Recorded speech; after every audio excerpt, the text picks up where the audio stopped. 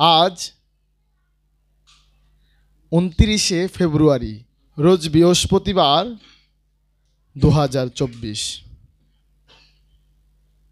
আমি প্রথমেই শুরু করছি আমার মহান মুর্শেদ কেবলায় কাবা শাহসুফি সৈয়দ বাবা বেদ মোয়ারসিয়াল জাহাঙ্গীরের কদমে ভক্তি এবং চুম্বন রেখে, আলে বাবা জাহাঙ্গীরের কদমে ভক্তি এবং চুম্বন রেখে আমার সম্যক প্রাণী উপস্থিত সকল সুফি অনুরাগী, মুরব্বী, সত্য অনুসন্ধানী, সাধু, সাধক, সুফিবাদের গবেষক, আমার গুরু ভাই ও বোনেরা, সকলের প্রতি আমার আন্তরিক সালাম, ভক্তি ও শ্রদ্ধা রেখে আমি অধম গোনাগার নাখান্দার নালায়েক আপনাদের সম্মুখ পানে খ্যাতমতের জন্য দাঁড়িয়েছি।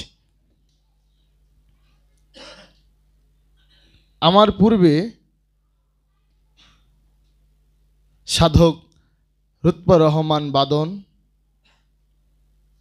তিনি সুফিবাদের যে মূল কনসেপ্ট ধ্যান সাধনা, খুব চমৎকারভাবে মনোমুগ্ধর ভাবে আপনাদের সম্মুখ পানে উপস্থাপন করেছেন। ফকাল রাব্বুকুম উদুনি আস্তা জেবলাকুম রব্বুল আলামিন বলতেছেন, তোমরা আমাকে ডাকো, আমি ডাকের জবাব দিব। বাবা জাহাঙ্গীর রহমাতুল্লাহ আলামিন এই আয়াতের গভীরে প্রবেশ করেছেন। ডাক দিতে হবে একা, এক বচনে, দ্বিবচন, বহু বচনে না। প্রশ্ন রেখেছেন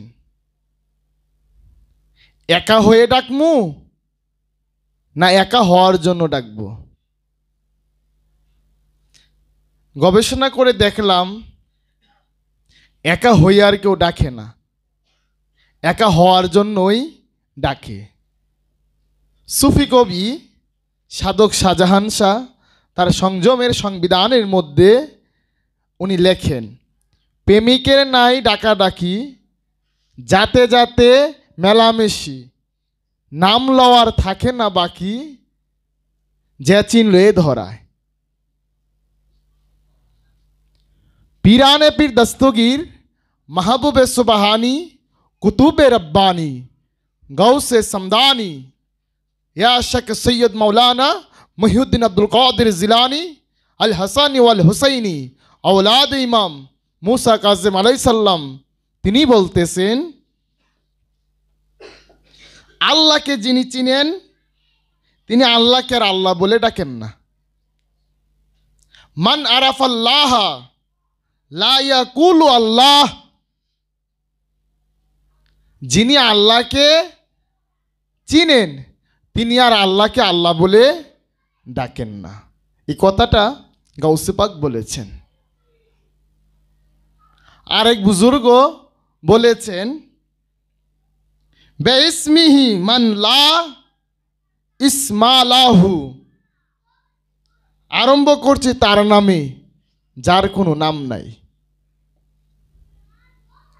তাহলে বিষয়টা কি দাঁড়াল?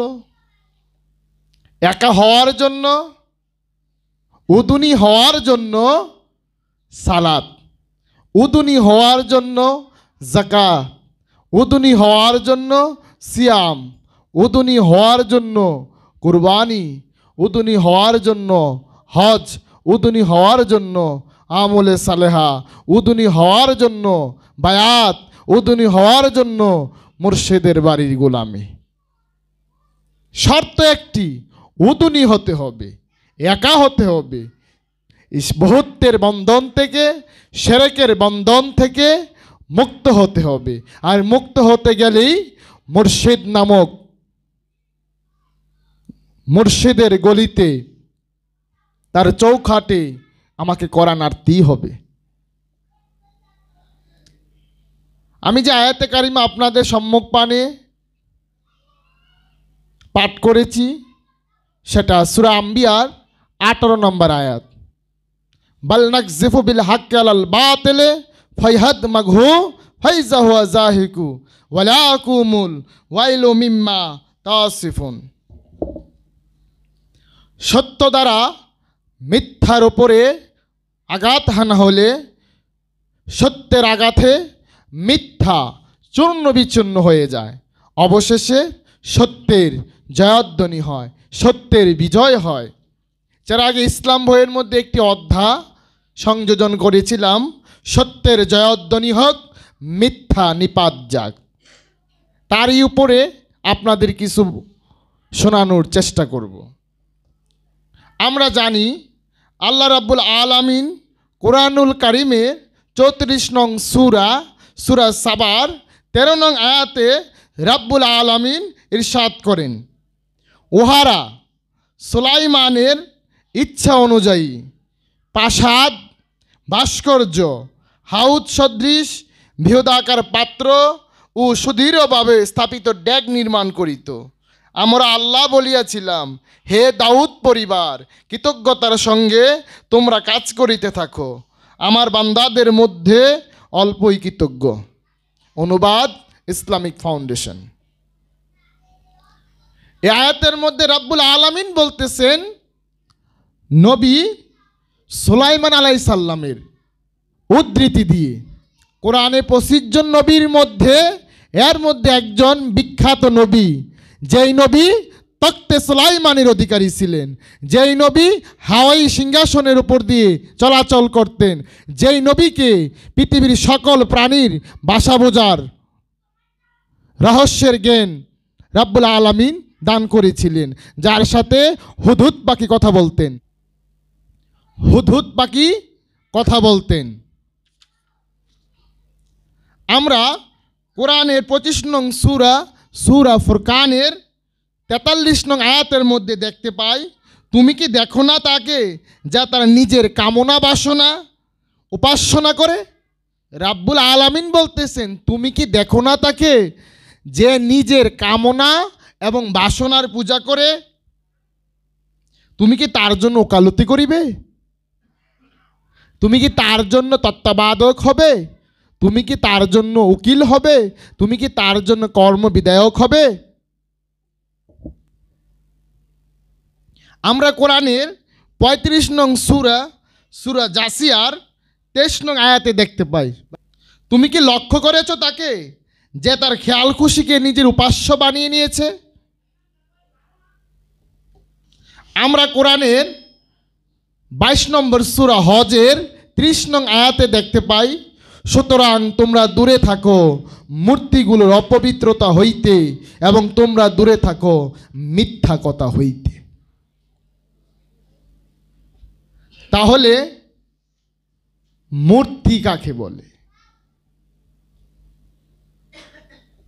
ঢাকা ইউনিভার্সিটির মধ্যে আছে রাজু ভাস্কর্য এবং অনেক মূর্তির সমাহার। ইউরোপ, আমেরিকা, বিশেষ করে প্যারিসে। রাস্তার মোড়ে মোড়ে বিভিন্ন মহামানবদের মূর্তি আছে এবং সবচাইতে সৌন্দর্যপূর্ণ মূর্তিটার নাম হচ্ছে মোনালিসার মূর্তি। বিভিন্ন মূর্তি রাস্তার মোড়ে মোড়ে তারা দাঁড় করিয়ে রাখছে। একজন জিজ্ঞেস করলেন, মূর্তি পূজা করা তো হারাম? তখন তারা বলল, আমরা তো আল্লাহই মানি না, মূর্তি তো বহু দূরের কথা।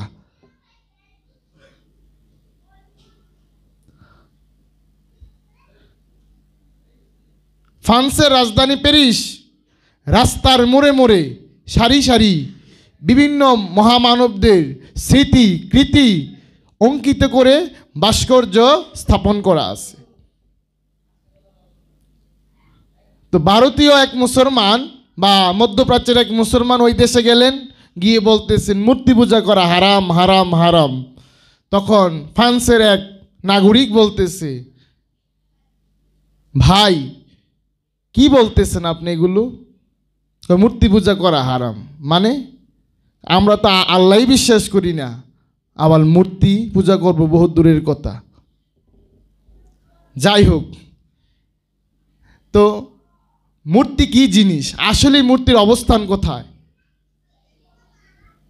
তাহলে এই বিষয়টা সম্পর্কে আমরা একটু জানার চেষ্টা করব। আমরা উপরে কয়েকটি আয়াত পড়লাম। এই আয়াতগুলো সম্পর্কে একটু ব্যাখ্যা করার চেষ্টা করব। উপরে উল্লেখিত আয়াতগুলো নিয়ে সামান্য আলোকপাত করতে চাই। নিরপেক্ষ অনুসন্ধানী হয়ে কোরআনিক সার্বজনীন দর্শনটুকু খুঁজে বের করার আন্তরিক প্রচেষ্টা চালিয়ে যাব এবং সত্য উক্তি ও সত্য যুক্তির মারফতে এবং কোনো অনুমানের গোলমারা বিদ্যার কচকচানিতে নয়। চরম বাস্তবকে সাক্ষী রেখে প্রশ্নাকারী প্রকৃত সত্যটুকু উদ্ঘাটন করার প্রয়াস ও প্রচেষ্টা চালিয়ে যাব। আল্লাহ পাক চাইতো সত্য দ্বারা মিথ্যার উপরে আঘাত করলে মিথ্যা ভেঙে চূর্ণ বিচূর্ণ হয়ে যায়। এবং অবশেষে সত্যেরই বিজয় হয়। সুরা সাবার তেরো নং আয়াতে নবী হজরত সুলাইমান আলাই সাল্লামের ইচ্ছা অনুযায়ী প্রাসাদ, ভাস্কর্য, বৃহদাকার পাত্র এবং সুদৃঢ়ভাবে স্থাপিত ড্যাগ নির্মাণ করিত। এই সমস্ত কার্য সম্পাদন নবী হজরত সুলাইমান আলাই সাল্লাম জিনদের মাধ্যমে নির্মাণ করতেন অথবা শয়তানের মাধ্যমে করাইতেন। বিখ্যাত প্রাসাদ বাইতুল মোকাদ্দাস উপাসনালয়টি হজরত সুলাইমান আলাই সাল্লাম শয়তানের মাধ্যমে করিয়েছেন, আল কোরআন। নবী সুলাইমান আলাই সাল্লাম কর্তৃত্ব করতেন জিনদের উপরে, শয়তানের উপরে। তো বিখ্যাত উপাসনালয় বাইতুল মোকাদ্দাসটি নবী সুলাইমান আলাই সাল্লাম শয়তানের দ্বারা বানাইছে। তো মসজিদ বানায় কারা জানেননি? এই আনুষ্ঠানিক মসজিদ শয়তানে। এটা আমার কথা না, কোরআনের কথা। শয়তানে মসজিদ বানায়া নিরাকারে আল্লাহরে পূজা করে। আর সুফি, যিনি আল্লাহর সাকার রূপ, আদমের পূজা করে। কারণ আদম হচ্ছে আল্লাহর বাইতুল্লাহ। আদমের মধ্যে আল্লাহ রব রূপ উদ্ভাসিত। আদম আল্লাহর নিশানা। আমরা কোরআনিক দর্শনের আলোকে জানতে পারি, আল্লাহর সুন্নতের কোনো পরিবর্তন হয় না। সুন্নাত আল্লাহি লাতাবদিলা নবী আপন ইচ্ছা হইতে তথা আপন হাওয়া। হাওয়া মানে প্রবৃত্তি, হাওয়া মানে কামনা বাসনা। একটি বাক্য ব্যয় করেন নাই। অমায়ন্তে কোয়ানিল হাওয়া। তিনি নিজ কামনা হইতে, নিজ প্রবৃত্তি হইতে একটি বাক্য ব্যয় করেন নাই। আল্লাহ যা বলছেন, তাই তিনি মুখ দ্বারা বলছেন। তা আল্লাহ কার মুখ দিয়ে কথা বলে? রসুলের মুখ দিয়ে কথা বলে। আল্লাহ কার মুখ দ্বারা কথা বলে? মুমিনের মুখ দ্বারা কথা বলে। আল্লাহ কার মুখ দিয়ে কথা বলে? আদমের মুখ দিয়ে কথা বলে। তাহলে আল্লাহ আদমের মুখ দিয়ে কথা কইলে সেজদা নে কার পাও দিয়া? আদমের পাও দিয়েই। তো আদম ছাড়া আল্লাহরে সেজদা দেওয়ার কোনো বিধান এই সৃষ্টি রাজ্যে নাই। গবেষণা করে দেখলাম, সারা কোরআনে তন্ন তন্ন করে খুঁজে দেখলাম, আল্লাহ কোনো জায়গায় কইছিনি আমার একটা সেজদা দাও। পাই নাই। পাইছি। আল্লাহর জন্য সেজদা করো। এখন আল্লাহর জন্য সেজদা কই করব? গাছে, মাঠে, জঙ্গলে, পাহাড়ে, আসমানে, সূর্যরে, চন্দ্ররে? না। আল্লাহর জন্য সেজদা করতে বলতেছেন, আদম কি? ইনসানকে তো বলে নাই নাচকে তো বলে নাই। এই আদম আর ইনসানের রহস্য। অনেক বড় বড় ইসলামিক স্কলার, ডক্টরেটরা বুঝেন না। এই আদম আর ইনসানের রহস্য, বাবা জাহাঙ্গীর এই পৃথিবীর বুকে উন্মোচন করে দিয়ে গেলেন। আদম আর ইনসান এক না। আদম জাগ্রত রোহের অধিকারী আর ইনসান জাগ্রত খন্নাসের অধিকারী।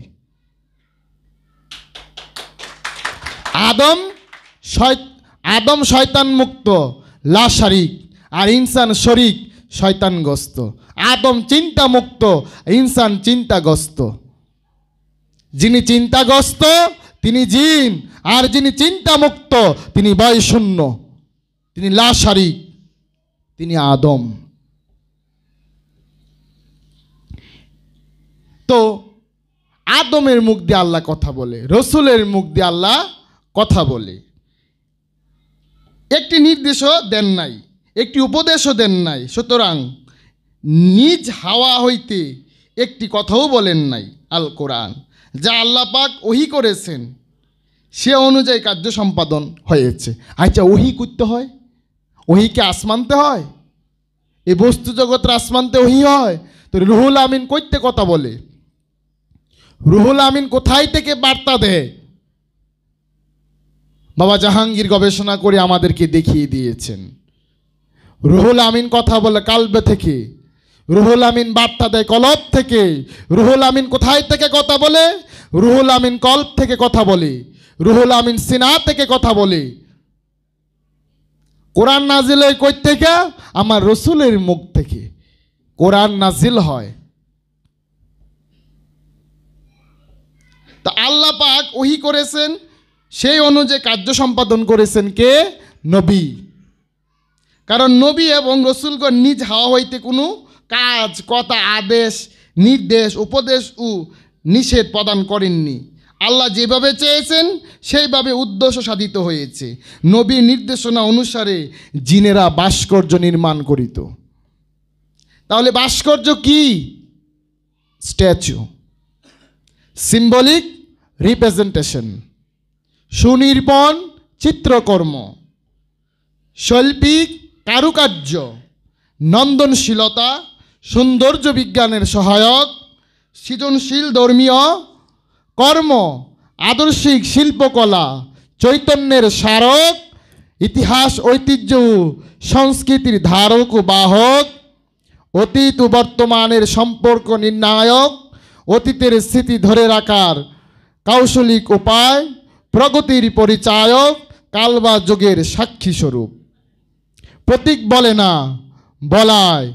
প্রতীক নীরব ভাষায় তার অন্তর্নিহিত ভাব বলে যায়। প্রতীক তীর্যক ভাব প্রদর্শন করে, যা মানব মনে ব্যঞ্জনা সৃষ্টি করে। দেখেন তো, আমাদের এই দরবার হলের মধ্যে অনেক চিত্র আছে। ভাস্কর্যের চিত্র আছে, ভাস্কর্য আছে, স্ট্যাচু আছে। প্রতীক বলে না, বলায়। দেখেন তো, বাবা সোলাইমান শাহ ল্যাংটার প্রতীক আছে, বাবা গণিসার প্রতীক আছে, বাবা আরশার প্রতীক আছে, বাবা করিম মাস্তানের প্রতীক আছে, তারা এখন কিছু বলে না, তারা বলায়। এগুলো কেন রাখা হলো? মানুষের চিন্তা রাজ্যে, মানুষের উপলব্ধির মধ্যে আঘাত করার জন্য। অধম লেখকের মনে হয়, ইতিহাস, ঐতিহ্য, সংস্কৃতি, মহান মানবদের কীতি, তাদের স্মৃতিকে ধরে রাখার স্মারক ভাস্কর্য নির্মাণ করা হয়েছে। আল্লাহর হুকুমে, নবীর নির্দেশে। যাতে ভবিষ্যৎ প্রজন্ম তাদের পূর্বপুরুষদের সম্পর্কে এবং তাদের আদর্শ সম্পর্কে অভিহিত হয়ে সঠিক পথে পরিচালিত হতে পারে। মহাত্মাদের আদর্শ হৃদয়ের গভীরে ধারণ করতে পারে এবং নিজেদের কর্মপন্থা সঠিকভাবে নির্ধারণ করতে পারে। এই ভাস্কর্য আধুনিক জাদুঘর প্রতিষ্ঠার আদর্শিক প্রেরণা। ভাস্কর্যই আধুনিক শিল্পকলার পরিচয় বহন করে। এই ভাস্কর্যের উন্নতর সংস্করণ হলো আধুনিক চিত্রশিল্প ও নান্দনিক রং বেরঙের ছবি, যা সৌন্দর্য এবং পবিত্রতা বর্ধন করে, যা মানুষের বুদ্ধিসত্তাকে বিকশিত করে, কল্পনা শক্তিকে সুতীক্ষ্ণ করে, সত্য অনুসন্ধানী হিসাবে বিনির্মাণ করে। ভাস্কর্য শিল্পকলা এসব আদর্শের প্রতীক, চেতনার দোতক, সংস্কারের বাহক ও পবিত্রতার স্বাক্ষর। ভাস্কর্য নির্মাণ, ভাস্কর্য দর্শন করা, ভাস্কর্য কেন্দ্র করে শ্রদ্ধাঞ্জলি নিবেদন করা। জাতির মহান কার্যসমূহ, মহাত্মাদের আদর্শ জীবন দর্শন কর্ম সম্পর্কে সভা সেমিনার করা একটি সর্বোত্তম মহৎ পবিত্র কাজ। তাদের পূর্বপুরুষদের চেতনা, আদর্শ জাতিকে প্রগতির পথে, কল্যাণের পথে, উন্নতির পথে সঠিক দিশা দান করে। আল্লাহ রাব্বুল আলামিন তার সৃষ্টি রাজ্যের মধ্যে মানুষের জন্য বিভিন্ন নির্দেশন, দৃষ্টান্তর, উপমা রেখেছেন যাতে মানুষ চিন্তা ভাবনা ও জ্ঞান গবেষণা করতে পারে এবং জাতির যোগ্য উত্তরসূরি হিসাবে নিজেদেরকে বিনির্মাণ করতে পারে। যাতে সত্য অনুসন্ধানীগণ গবেষণা করে প্রকৃত সত্য উদ্ঘাটন করতে পারে। ভাস্কর্য নির্মাণ তো আর মূর্তি পূজা নয়। যারা ভাস্কর্যকে মূর্তি পূজা বলে তকমা দেয়, তাদেরকে আমরা বলব না, তাদের মাথায় মানুষের মগজ নেই। আছে বেড়াবক্রি গরু মহিষের মগজ। তারা কোরআন বুঝে না যারা কোরআন বুঝে না, তাদেরকে কোরআন গাধা পশু বলে তকমা দিয়েছে। সভ্যতার উন্নতির পথে চলে, প্রগতির পথে চলে, পরিবর্তনের পথে চলে, আর এই গর্ধব, গভেট, গোয়ার প্রকৃতির মানুষরূপী নিউ মডেলের জন্তুগুলো পিছনের দিকে টানে।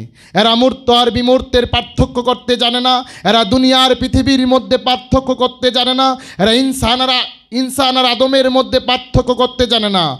নফসার রুহের প্রভেদ জানে না। জানে না ভাস্কর্য, মূর্তি আর মূর্তি পূজার পার্থক্য। এরা জানে না দিন আর দুনিয়ার মধ্যে পার্থক্য। এরা জানে না আত্মার বিজ্ঞান আর বস্তু বিজ্ঞানের মধ্যে পার্থক্য। এরা জানে না আল্লাহ শয়তান ও শিরিকের অবস্থান কোথায়। এদের খুদ পিপাসার কাছে সৌন্দর্য হলো জলসানো রুটি। এদের নাকের সামনে গোলাপ ফুল দললে গন্ধ না নিয়ে অধ্যৎ জিউবা বের করে খেয়ে ফেলবে।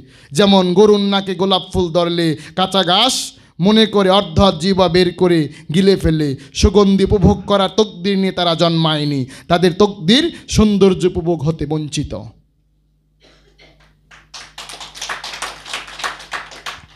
ইট, বালু, পাথর, সিমেন্ট দিয়ে তৈরি শৈল্পী কারুকার্য চিত্রকর্ম ভাস্কর্য, প্রতিমূর্তি ইত্যাদি তো আর শিরিক না।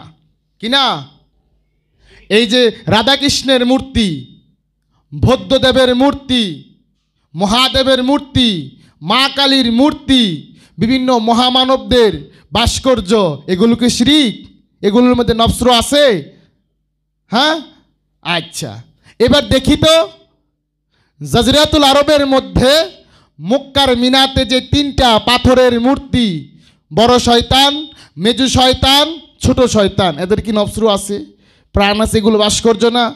আমাদের যে বাইতুল্লাহ, আল্লাহর প্রতীকর কাবা, কাবার ভিত্তিক কোনো মানুষ আছে নাকি? এটা তো একটা খালি ঘর, চার দেয়াল কি? দেয়াল। এটাও তো একটা ভাস্কর্য, এটাও তো একটা স্ট্যাচু কি? স্ট্যাচু। প্রত্যেকটি অলি আল্লাহর মাজারও তো একটা ভাস্কর্য, একটা স্ট্যাচু, একটা সমাধি। এগুলো কি? এগুলো আল্লাহর নিশানা। এগুলো আইকন, প্রতীক। এরা বলে না, বলায়। এইগুলো নির্মাণ করলে শিরিক হবে, এ কত অবান্তর।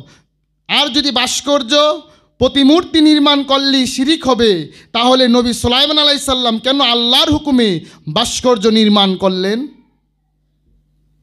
আর যদি ভাস্কর্য নির্মাণ শিরিক হয়, আমরা বলব না, আল্লাহই সর্বপ্রথম শিরিকের হুকুম করেছেন। নওজুবিল্লা মিনজালেক নবী রসুল অলি গাউস কুতুফ আরিফ আবদাল ও অবতারদের পৃথিবীতে আগমনের উদ্দেশ্য মাত্র একটি। সে একটি মাত্র উদ্দেশ্য হলো ভূত পূজা, তাগুত পূজা, অদৃশ্য কামনা বাসনার মূর্তিগুলোর পূজা বর্জন করতে এবং তৌহিদের শিক্ষাটুকু দেওয়ার জন্য প্রেরিত হয়েছেন।